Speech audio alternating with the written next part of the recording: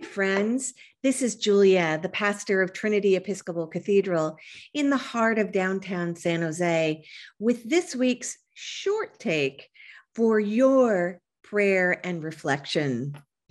You know, in this season of Lent, when I am daily pondering Jesus' fateful journey toward the cross, I'm reminded that the God who joyfully created all living things never desires death.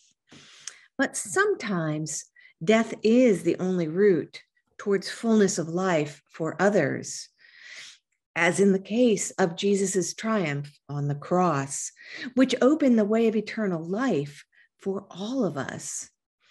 In the Christian tradition, we call people who give their lives for their faith martyrs which curiously had nothing to do with dead people in the original Greek. Rather, a martyr was someone who offered a witness or testimony, sometimes, but not commonly, at the cost of their life.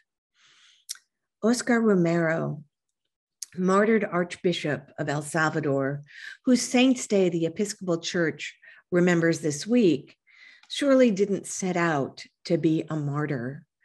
But he was, like any good pastor, a champion for the impoverished Salvadoran people in his care. And when the circumstances of his country demanded that he defend their dignity and their rights as children of God, even at the risk of his own life, he did not shrink from the task. Oscar Romero was assassinated in 1980 while celebrating Mass in San Salvador.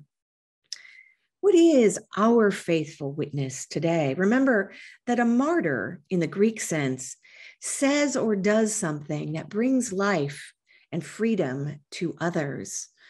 Martyrdom can cost a whole life, but faithful witness can also be as simple and as powerful as a gift to someone in need, a kind word, a hug, or a reminder of God's abiding love.